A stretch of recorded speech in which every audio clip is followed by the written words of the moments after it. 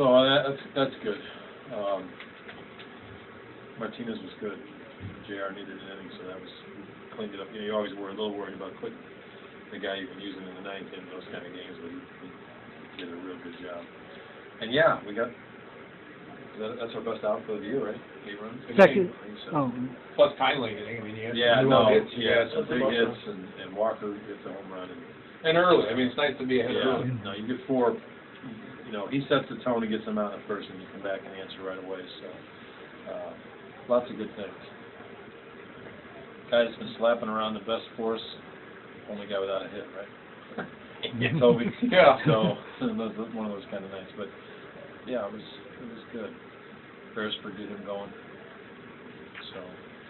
it was- And Walker's gotta be good to get. No, absolutely. Drive the ball hard. And, yeah, and, you know, and, and, you know, the, the basics too, just some consistent contact, you know, we know he's gonna strike out somebody.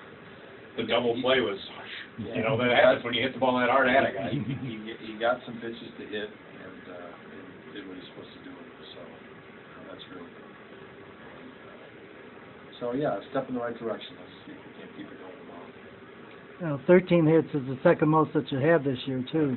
Right, so, you know, I mean, like I said the other night, you just don't know when things are gonna start to turn. But We've got some guys in this club that, that, uh, whose numbers say they're gonna be a lot better than they've been the first two weeks, so we'll see where that goes. Worried about Murphy, or is he, you know, starting to show some? No, I, you know, I should, I should, you know, I, everybody takes a while to shake, you know, heck, everybody else has been struggling, so, and we, you know, we got good players, and he's a good player, and, uh, no, I, I, I think a veteran will figure it out. When it, when that's gonna happen, I don't know, um, but we got a base hit tonight, and uh, my sense is he'll be fine, it's just gonna take a little time. And he's seen a ton of left-handers.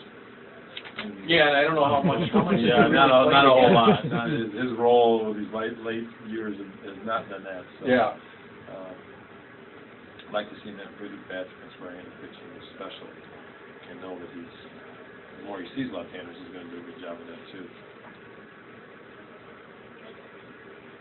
okay, All right? thanks.